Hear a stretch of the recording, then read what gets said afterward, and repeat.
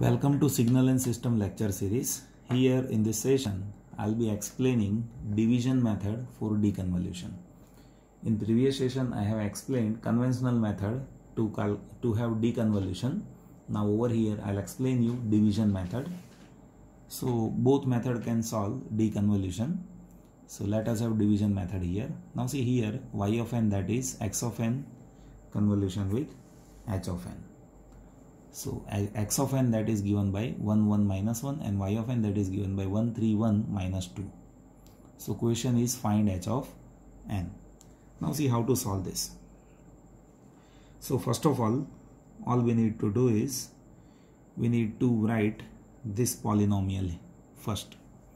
So you just see how I am writing this polynomial.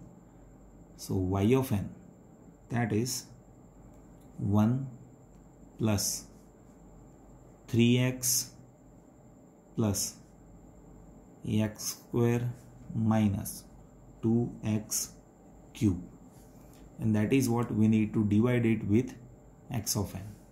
So you see how I write x of n here. So I should be writing x of n over here. So I'm writing it. See this is 1. So 1 plus 1 into 1 1 into x x minus 1 into x square. Now all we need to do is we need to divide this. So let us divide this. Now see over here there is 1. So I should be first taking 1 over here and have this value over here as per given.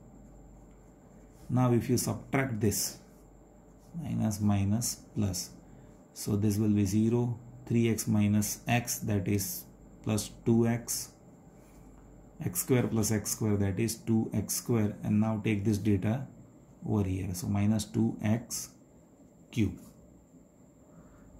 Now if you multiply 2x with this to have further solution. So if I multiply 2x with this so plus 2x and over here 2x again plus 2x means 2x square minus 2x means minus 2x cube and if you change polarity minus minus plus so 2x minus 2x 0 2x square minus 2x square 0 and 2x cube minus 2x cube that will be even 0 so over here remainder is 0 so we can say this h of n that is this polynomial so as remainder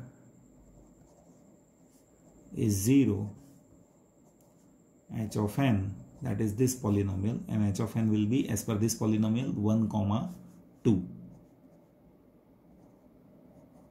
now see here one problem can occur. When you do this division as per this method if remainder is coming then this calculation is false means h of n cannot be obtained. So here we need to see whether remainder is 0 or not. If remainder is not 0 means its deconvolution is not possible. So this is what we need to understand here. In previous session I have explained one example where convolution was invalid.